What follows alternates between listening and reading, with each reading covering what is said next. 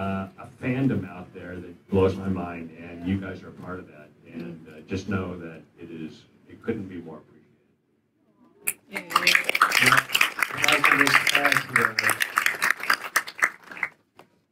The the kind of troublesome voices get magnified, you know, online stuff like that.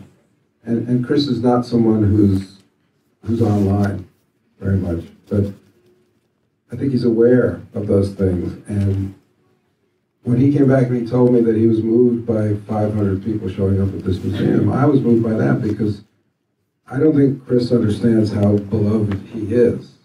Mm-hmm. And I think you, I think people should also understand how much of the show is him. And I think that sometimes that gets lost in the discussions of uh, nitpickings and things, people like this or they don't like that. But without him, none of it. Zero, zero, zero, zero. And he needs to hear that sometimes. But he's not in places where he can hear it. Maybe right now, though.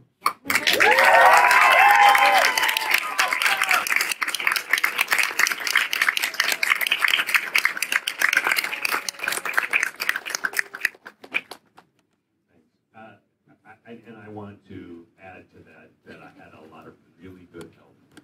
Uh, and I Yeah, he think- did, but I'm still saying. Uh, and I think you guys know who a lot of these people are, because a lot of them have gone on to great. Uh, okay, I'm gonna, I was in the back, I'm gonna go to the front. Hi. Um, has Miss Subway ever been? Has Miss Subways ever, what's that? You may not be allowed to buy it. I'd love to have it optioned. Uh, uh, a producer had it for a bit. Um, no money changed hands, but we were trying to find um, somebody to commit to it, an actress or you know producer. I still think it could be, it should be. I, I think it's. Great TV show. I'm a producing student. I just wanted my turn to run it. Not saying I'm going to option it. Well, no, yeah, no. I mean, I agree with you. I think it's. Um, I think it's a TV show. I think it's a good TV show, really good. Yeah. I'll go, Right here in front. okay, Man in the Hat.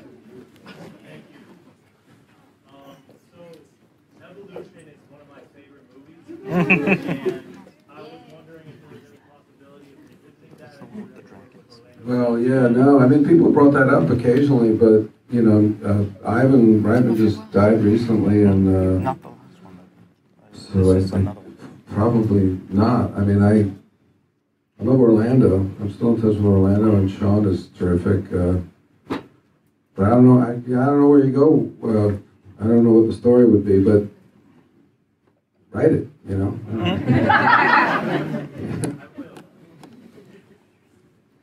You, you choose. Okay. Now she's over here. Um, my name is Michelle. I'm a blogger. I just wanted to know you. This was for both of you. You've done almost everything, producing, writing, acting. What's the on your bucket list? I don't have a bucket list. I don't think I have a bucket list. You have a hole in your bucket list? Is there anything else you want to do? I don't think so. I mean, I, I have no like hidden talent that I can now go to. I, there's nothing else. I've kind of squeezed everything I might be able to do. Um, so I don't know. Yeah, I got nothing left. But I got I got some things that I like to do, so I feel lucky.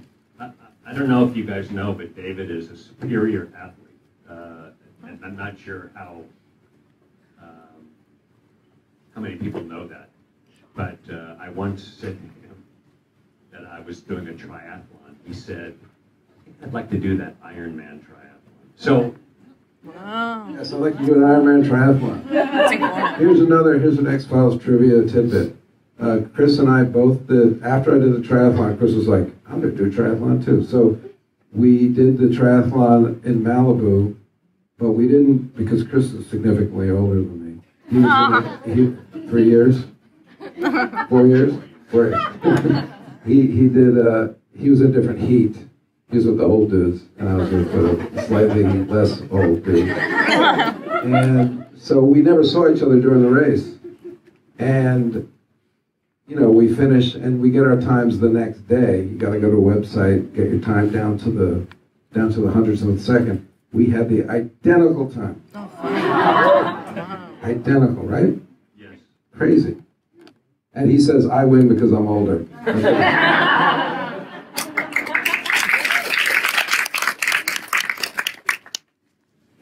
Um, I'm going to go middle ground here, you. Hi, uh, my name's Josh. Um, are you friends with Charlie Runkle in real life? From Californication? Charlie Runkle? My friends with Evan Handler. Yes. Uh, yeah, we were friends. yeah,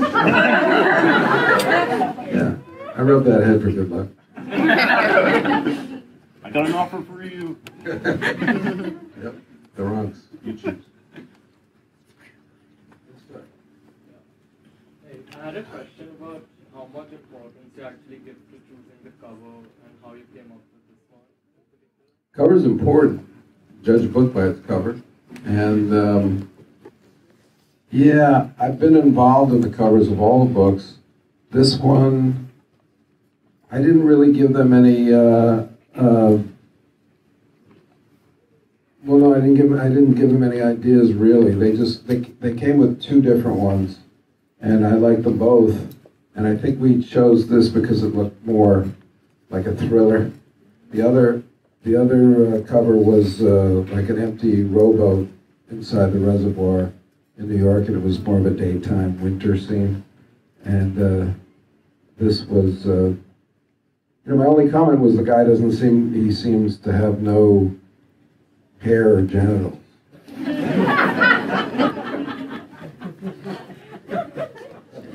Look at the cover. The cover, right. Yeah, he looks like a, like a Ken doll. Kind of a guy. And they said that nobody would care, and All right, I'm, I- I'm getting, nobody a- cared. I'm getting a two more questions. Okay, you got it, you, you choose them. That, that was, but that was very powerful, that one in the back there. Yeah. No, no, no, right behind, but then, yes, yes, you, yeah. It's impossible, it's a, this is a no-win situation. Right? one's for Chris. Um, are you writing anything right now? Am I writing anything? Yes, I'm writing. I'm always writing something. Uh, and it is nothing like the X Files, I can tell you that. And that's kind of where I've been for quite a while now. I, I just don't want to get pigeonholed uh, as uh, the X Files guy uh, because I think I have other things. in me. Uh, I did take a, a hiatus uh, to enjoy my life for a time, but I'm back at it. Back, back to not your life?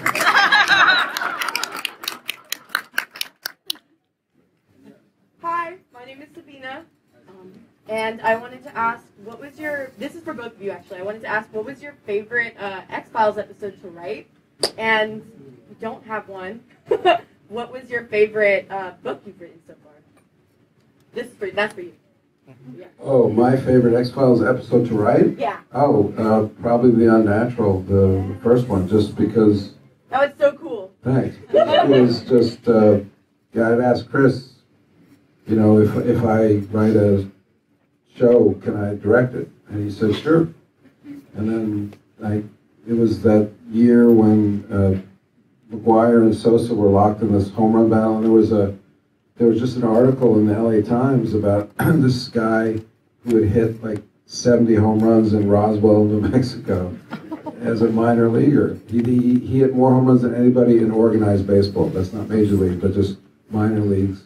And he played for Roswell. And I was like, huh, there's got to be something in there. And I, wrote that script, and I feel very warmly about it. I feel it's very emotional. I feel it, it has a lot to say about uh, racial politics that is, you know, being said now. And um, I feel it's a little, little prescient. Is that the word? Uh, and uh, I stand by it. I think it's a good one. I mean, there's huge mistakes in the beginning, but you know, we lost an actor. Like I shot first day, first day I ever made, shot as a director. We had to reshoot because the actor got ill. Yeah. And uh, anyway, So yeah, be unnatural. Chris, for you, It's a really hard question to answer. I Um, want to answer it for you. okay, go ahead. I want to say it's going to be Triangle or Postmodern Prometheus. Yeah. I, I would say those two. And Duane Barry. And Duane Barry. I'm good. Uh, I think that those, those are among them. Uh, Yeah, I'll, I'll, I'll, uh, I'll go with David's choice. All right, we're being run stage. Thank you all for coming out.